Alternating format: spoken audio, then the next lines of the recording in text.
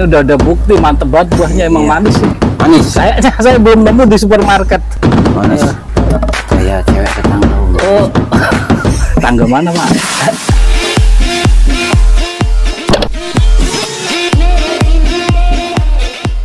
Wih, anggur bagus banget nih. Berapa nih? Cakep. Baikonur. Oh, Baikonur itu Baikonur. Dari mana pak? Dari Ukraina. Ukraina mantep banget. Udah matang belum coba cobain? Oh, coba, coba, coba, coba. Waduh, mantepnya. Nah. Uh, luar biasa manisnya. Ente kan marketing perumahan. Hmm. Coba dong edukasi juga tuh. Hmm, ya, Konsumen-konsumen suruh nanam anggur. Ya. Gimana? lahan-lahan kosong. Gimana caranya bisa buah kayak gini, Pak? Ini mantep banget, gak dijual. Gampang nanam anggur itu. Gak usah repot-repot. Iya. Yang penting ada tanah sedikit. Bisa juga kalau nggak ada tanah pakai ini nih, Om. Tambulan dot, Om. Oh, gitu. Wah, ini kayaknya nggak dijual di supermarket supermarket premium banget nih kayaknya anggurnya. Itu ukuran berapa, Pak? Ini 50. Oh, 50. Terus setelah ini pertama beli ini, Iya. beli ini. pot. Lubangnya kan Terus? tadi agak rapet, kita bolongin pakai peso. Terus Terus kita lubangin juga di samping nih buat hmm, biar ada sirkulasi udara atau oksigen. oh gitu caranya. Nanti Terus pakai ini Om nih. itu namanya apa? Ini ajir nih. Belinya di mana? Ini saya beli di Online online Warteg gitu ya? ini, Om. Warteg keren di online. Iya, di online, Oh, di online. Oh, yang bener kan tebakan saya. online. Terus, Ini 7.300 Om nih Om. Oh, murah berarti nanam anggur Iya. itu. Enggak, nanti mahal kan ya? begini empat nih. Tiangnya empat. Oh. Terus Terus pakai ini Om nih, pakai behel galvanis. galvanis. Bendrat galvanis nih. Nanti kita potong pakai gerinda, nanti dililitin di sini. Setelah itu kasih media. Kemudian dikasih dasar dulu nih pakai bata, bata pecahan bata. Pecahan bata bata merah ya? apa bata merah, tuh? bata merah atau arang, Oh, atau arang. arang kayu. Fungsinya untuk apa itu, Pak? Untuk supaya poros, air tidak mengendap di bawah. Oh, Terkecuali begitu. potnya memang ada kakinya. Tapi begini kayak sih yakin nih dengan pot segini anggur bisa berbuah. Bisa, Ah, bisa. terus? Yang penting kita rajin menyiram karena nutrisinya kalau di pot kan terbatas om. Kalau di tanah nutrisinya kan dia bisa nyari sendiri Oh, gitu. dengan menggunakan pupuk abemik yang lengkap unsur makro, mikro dan trace elemennya lengkap. Terus medianya kayak Medianya itu sekam bakar tuh. biar sekam bisa bakar. Oh, sekam bakar. Terus sekam lapuk, Sekam lapuk. sama tanah bambu, oh, tanah bambu bisa. kotoran kambing, Oh, ini udah ada bukti mantep banget buahnya emang manis sih. manis. Kayaknya saya belum nemu di supermarket. manis eh, kayak cewek tetangga Om. Oh, tangga mana pak? Cewek Tangga apa sebelah jangan? kiri. Oh, boleh boleh boleh. Off the record aja kalau nanti kita kenalin om. Minta nomor wa nya om. Eh, eh, jadi menanam anggur itu nggak perlu lahan yang Nggak luas perlu ya? lahan yang luas. Ini rumah subsidi karena kebetulan ini anak ada lahan kosong daripada banyak rumput ya kita buat seperti ini. Buat untuk apa interestnya kita ambil. Ya indukan-indukan lah gitu. Nah, nanti kita kembangkan lagi. Ini mungkin bisa dikatakan pusat risetnya di Permata Puri Harmoni 1 ya? ya riset sibukan ya. Belajar lah. Oh, belajar. tempat belajar. Kalau riset mungkin orang terlalu inilah. Tapi- ya sama-sama belajar Sudah ada buktinya anggurnya emang mantep anggurnya. Iya, anggur Terus itu Lorano ada Om. Lorano juga gede. Terus iya, ada iya. Salome itu Salome. nanti bisa dicobain satu-satu. Terus eh, di sini menyediakan bibit nggak Pak?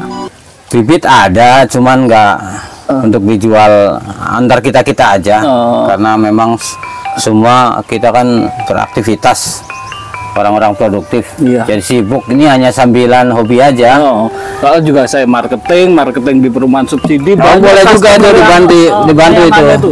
Dan banyak dan mereka eh, kok apa apa iya bisa buah anggur impor Ya, ditanam bisa. di Indonesia. Jadi kita harus edukasi mereka. Iya. Mereka taunya kan anggur tuh beli. Iya.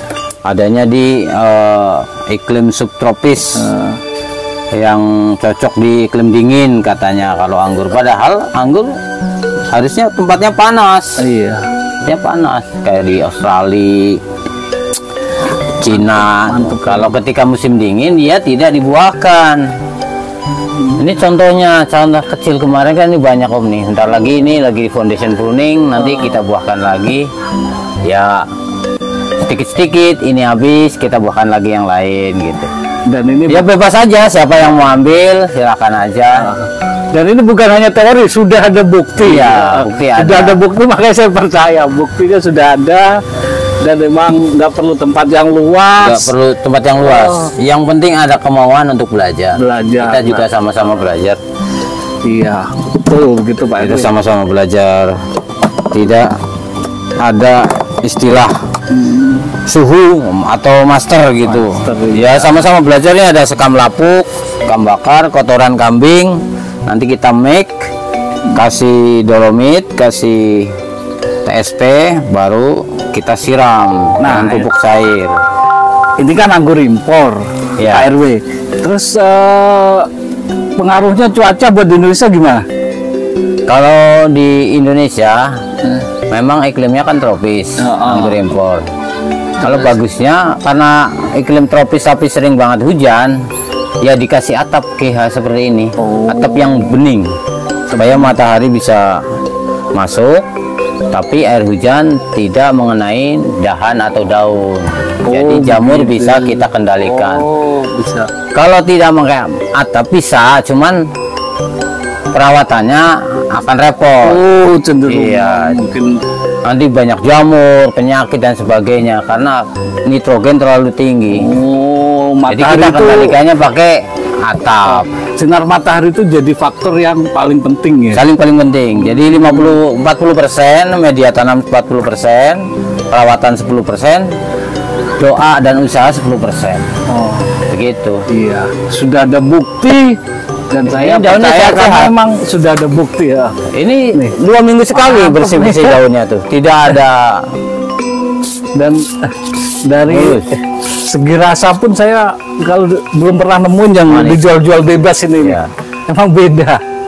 itu bisa kita hilangkan bijinya om kalau ketika dia very set kita celup dengan hormon KA3 bijinya bisa lembut bahkan Iya. bisa hilang Iya. dan bisa dibesar lagi ini karena nggak ada pupuk-pupuk organik aja tuh PO Oh, pakai organik. organik Berarti, ya, POC oh, bikin sendiri ya itu? ya bikin sendiri ada macam-macam lah Ah, ya. bebas-bebas saja karena kalau kita pakai pupuk-pupuk kimia atau sintetis ini yang nggak ada. Oh, buat nyicil sama. Pak. Ya. nyicil rumah. Nah, seperti saya kan pemula banget nih Pak. Eh, Nah ini gimana simpelnya tuh bikin POC tuh?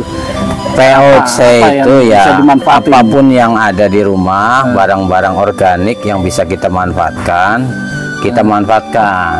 Campur dengan air biasa ataupun air hujan atau air cucian beras yang pertama kita cuci kita bilas. Oh, bisa begitu. Iya. Pakai dekomposer boleh, kalau enggak pun enggak apa-apa. Hmm, Ya namanya POC ya, bebas sih banyak versinya POC mau versi pembuahan atau pertumbuhan tuh.